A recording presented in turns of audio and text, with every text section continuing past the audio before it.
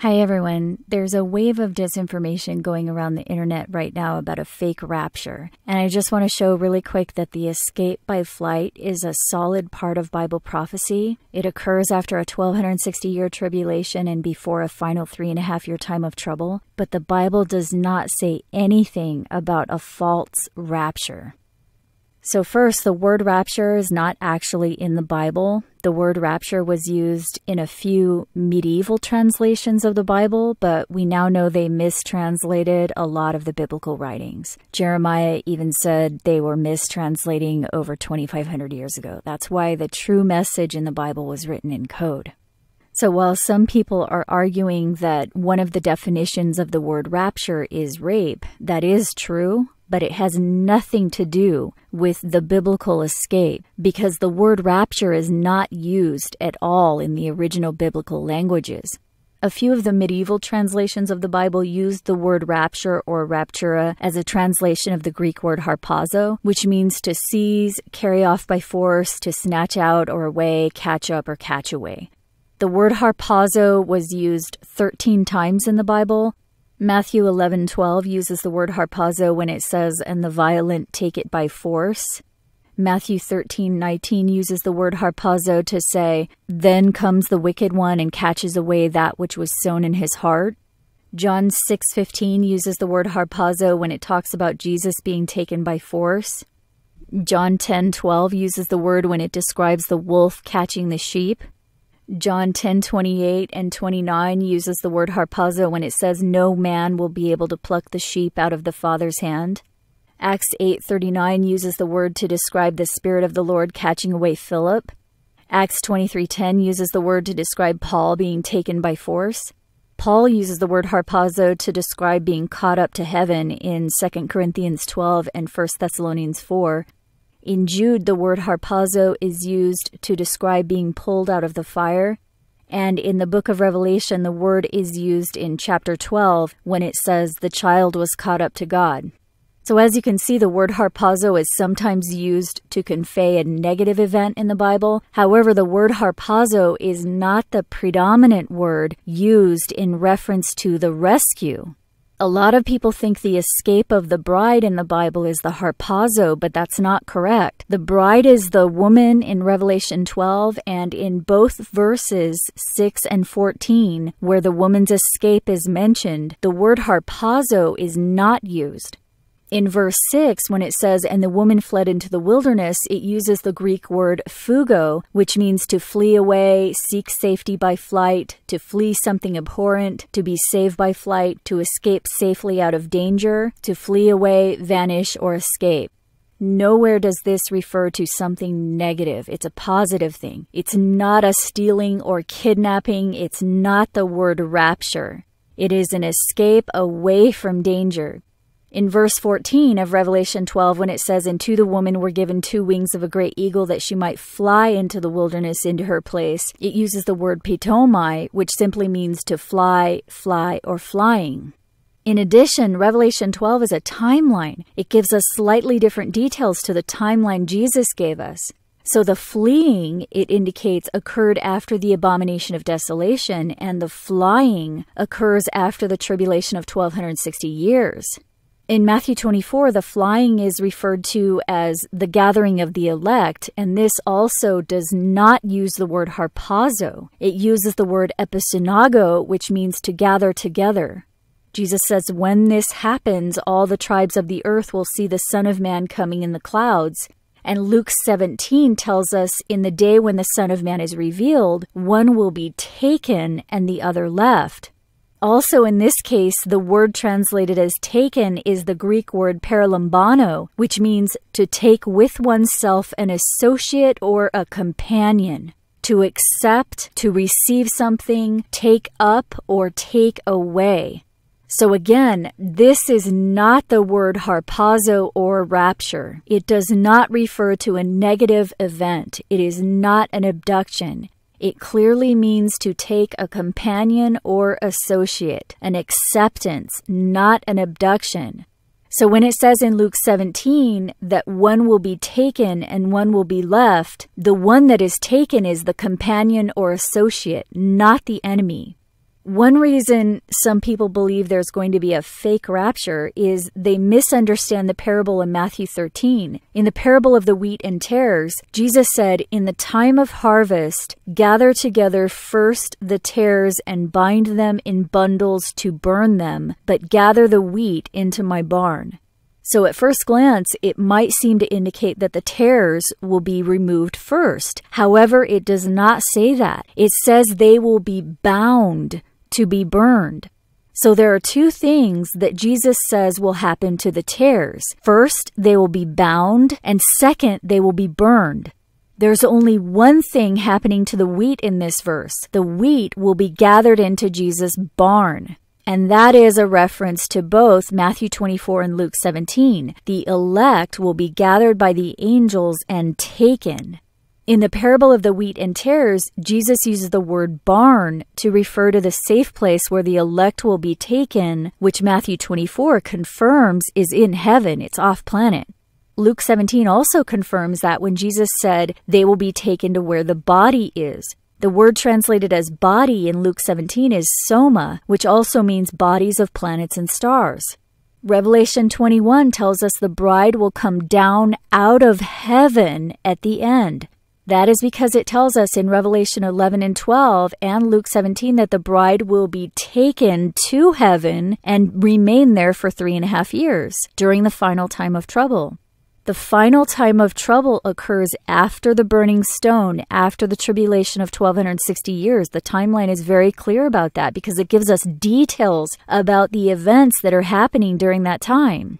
So we have to understand the timeline Jesus laid out for us that he said we could find in the book of Daniel. It's not a simple timeline, it is complex, but it is necessary to understand that timeline before we can understand the riddle of the wheat and tares. Jesus said himself, before he told them the riddle of the wheat and tares, that there are some who will see and hear the riddles but not understand them. It's necessary to understand the timeline Jesus gave us first. Then, once we solve the timeline, we can see where the other variables fit. He said, At the time of harvest, the tares will be bound together first in order to be burned, and the wheat will be gathered into the barn.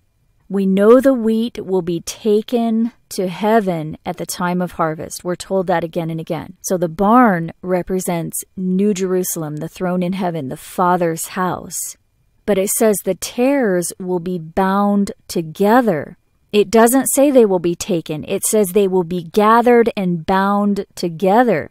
They're bound in order to be burned, and that burning is a clue about where they are going to be bound because we're told everywhere including in 2 Peter that the burning will occur on the earth.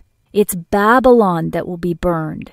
So if the tares are going to be burned and Babylon is the place where the burning occurs then that means the tares will be bound in Babylon. They will be gathered together and bound in bundles first in Babylon. So it's absolutely necessary to understand what Babylon is in order to understand where the tares will be bound together. The tares will not be taken off planet. They will be bound in bundles to be burned, and the burning will occur in Babylon on the earth. It says this will occur in the time of harvest, which Jeremiah tells us is when Babylon will fall, in the time of harvest. So the tares will be bound together in Babylon. Then the wheat will be gathered into the barn, which is off planet in the Father's house. Here's the other thing there's no mention of a false escape. Jesus does not say anything about a false gathering of the elect or a false taking away or a false flying to safety or a false gathering into the barn or a false father's house. And again, this escape that the Bible says will occur at the end of the 1260 year tribulation and at the start of the final time of trouble when the meteorite hits, it is a positive event a rescue from danger, an acceptance of friends, a gathering by the angels. So, people that recognize that the church rapture doctrine is false, they're absolutely right. But please don't throw out the most important parts of the prophecy just because the church got it wrong. That escape is a solid part of the prophecy that Jesus gave us, an extremely important part of the prophecy. And unfortunately, many people who are believing the false teaching about a fake rapture don't realize that that is actually one of the teachings of the beast. And the Bible itself tells us that. It says, after the escape, during the final time of trouble, the beast will blaspheme those in heaven and the name of God. It doesn't say how exactly they will do that, but one of the possibilities is that they're going to say it was a fake rapture or that those who were saved were abducted by aliens because Hollywood is already pushing that concept. In 2015, there was another television series that came out called The Whispers, which is all about an evil alien entity who is a murderer and a liar who, in the season finale, abducts certain children off the planet in an event that resembles a rapture. And that is a lie from the beast. And the Bible makes that clear. The beast is a liar and a deceiver, and all sorts of people all over the world are worshiping the beast right now. The deception at its very root, we're told, is that the beast presents itself as God, and during the final time of trouble, the beast will blaspheme the true God and the people in heaven that God rescues. And we already see that happening now. The beast's followers are already prepping the public to believe the beast's lie that there is a fake rapture coming and that those who are going to be saved are somehow bad. And that's what they're going to believe because Jesus said there are going to be Christians and Jews and other prominent religious figures that are not going. So, of course, they're going to tell you that the bad people were taken and the good people left if the leaders of the church are left behind, then of course they're going to tell you that the people that were taken were bad and that they're the good people and they were left behind, therefore it wasn't a real rapture. But the Bible prophecy is clear that that is going to be a lie. There is no fake rapture event mentioned in the Bible at all. If that was going to happen, that is a major event. It would be in the prophecy. There is a very real rescue that we are told will occur when the meteorite hits at the end of 1260 years and at the start of the final three and a half years of trouble. And we are told that the people left behind are the queen. They think they are not a widow. What does that mean? It means they think they're the bride of Christ. And we've already looked at this. They're worshiping the beast Revelation 13. They are the two false witnesses. The wolves are among the sheep right now. Jesus said that. They are among the sheep. So some of the people in the churches are bride and some of them are the wolves. Some of them are the queen. So the Bible prophecy is very clear that the ones who think they have it hands down are not the ones that are going to go. So they are going to believe that lie. They're going to push that lie and they're already pushing that lie now. It just is amazing to me they're already pushing the lie before it, it hasn't even happened yet. It's not biblical. There is no fake rescue mentioned in the Bible. If the rescue happens, it's the real thing. So we should be praying to be accounted worthy to go because it's the queen who assumes that she's not a widow, that she's married to Christ. We should be praying to be accounted worthy, not assuming that we are worthy. Okay, so there's one final thing that I wanted to mention. Some people will try to say there's no escape or rescue in Bible prophecy at all, which is totally false. They obviously are ignoring key parts of the prophecy. But I want to quickly go over another scripture that they try to use as support for their non escape theory, and that is John 17 15. In the King James translation, Jesus says, I pray not that thou shouldst take them out of the world, but that thou should keep them from the evil. First, the phrase take them out of can also be translated raise them up by. The word translated as take is the Greek word airo, which means to raise up, and the word translated as out of is the Greek word ek, which also means by. Second, notice the word thou is not in the original text. So Jesus was saying in John 17, 15, I pray not that they be raised up by the world, but that they be kept from the evil. That is what the original language says. The correct translation, just as it says in the original language, is that he prays they will not be raised up by the world. which makes perfect sense. He's implying here that if they're raised up by the world, they would be subjected to the evil. And we're told over and over that the Satanists rule the world right now, that the beast sits in a palace, that they put what is good for evil and what is evil for good.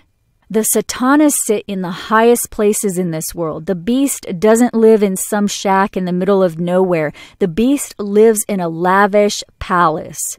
That's what the Bible says. The evil is at the top of this world. So it makes sense that Jesus says he prays, You will not be raised up by this world, but instead will be kept from the evil. And the evil is at the top of the world. In other words, it's good if you're not succeeding or rising to the top because that's where the evil is. He doesn't say you are evil if you rise up. He says he prays you won't rise up because he doesn't want you to experience the evil that's at the top. So he is absolutely not saying that he prays they won't be rescued because he says over and over again they will be rescued. For example, in John 14, don't let your heart be troubled. He says he is going to prepare a place for you in his father's house. So that's that's not somewhere on the earth. That's the Father's house. It's off planet. That is the figurative barn where the wheat will be gathered together, where the elect will be taken by the angels where the woman will fly to for three and a half years, and where New Jerusalem will descend back down to earth from heaven as a bride after that final time of trouble.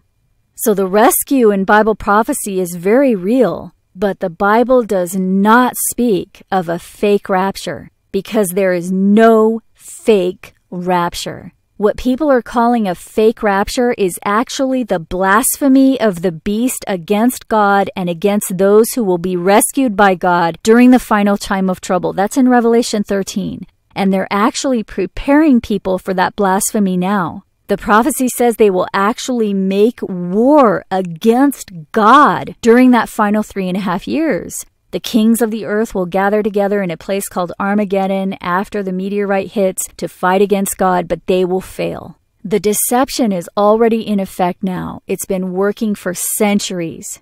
Many Christians, Jews, and Muslims are worshiping the beast and the little horn now. So, if you're still here after the meteorite hits, just remember that no matter what lies they tell you, the Elohim look like us, they're good, and they don't want or even need to dominate us. Genesis chapter 1 tells us that. Anyone who says anything different is a liar. So, for more information, watch the playlist Bible's Countdown to the Meteorite and Rescue, linked here and in the description below. I just want to say thank you to those who make this work possible. I hope you're doing well, and I'll talk to you next week.